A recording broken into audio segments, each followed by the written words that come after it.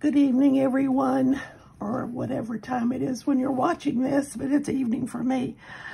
Tonight, I'm going to do um, week four of the Play Along Journal that I talked to you about last time. Um, it's um, BB Henry or Brooke Henry made all of these, um, made uh, journals, and she has YouTube videos up that where she's working through the journals for us to see how she works. This one is my take on week four. So um, let's get started.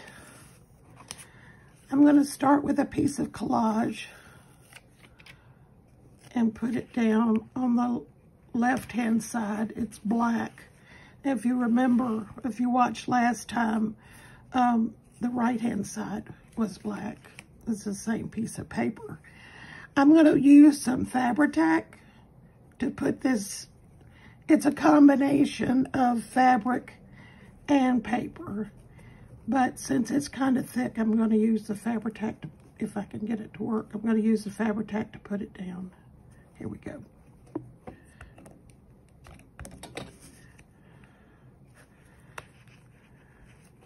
I'm going to put it down low enough so you can still see that piece of collage. Um, the next thing I'm going to do is add some um, masking tape to this right-hand side. I think I tore off too much. Anyway, I'm going to put some down on this uh, right-hand side. And perhaps I'll put what's left of it down on this left-hand side. Um, now I'm going to um, take this Lyra um, L-Y-R-A, and it's a graphite stick.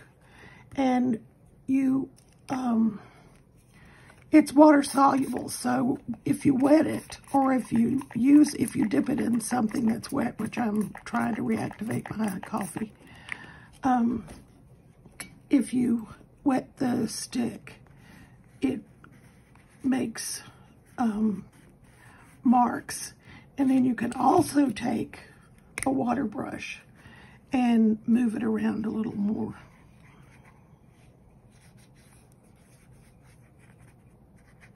Kind of grunge up this page. Now I'm going to use a pencil with no particular um, shape or thing in mind, just making some marks. And although you can't really see it on most of this page, I'm going to put some pencil mark on that as well. Now I'm going to take um, this, it's a paint stick, an acrylic paint stick, and uh, I'm going to uh, mimic these dots here and put them down on this page.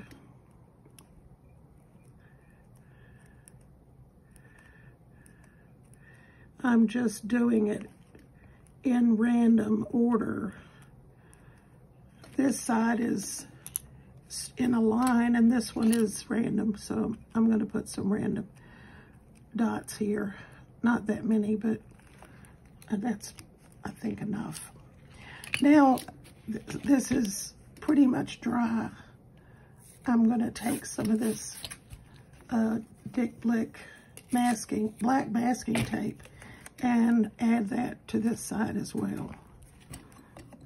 Right. Put it down. Flip it over to the other side since it's a little too long.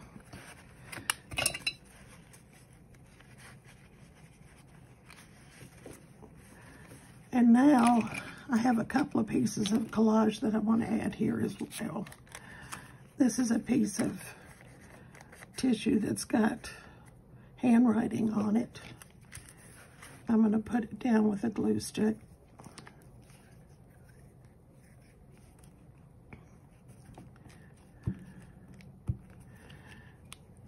And this blue glue stick dries clear. I'm going to turn it on the side, but I don't want to cover up my all of my dots there. Um, and I have one other piece of collage that I want to add is just a piece that I did um, when I was doing some, working on some papers tore off a piece. So I'm going to add this with the black side toward the black and up a little bit. And you can see both the masking, both the black and the, and the um, craft sort of masking tape. Um, I don't think there's anything else that I want to do here. So thank you for watching.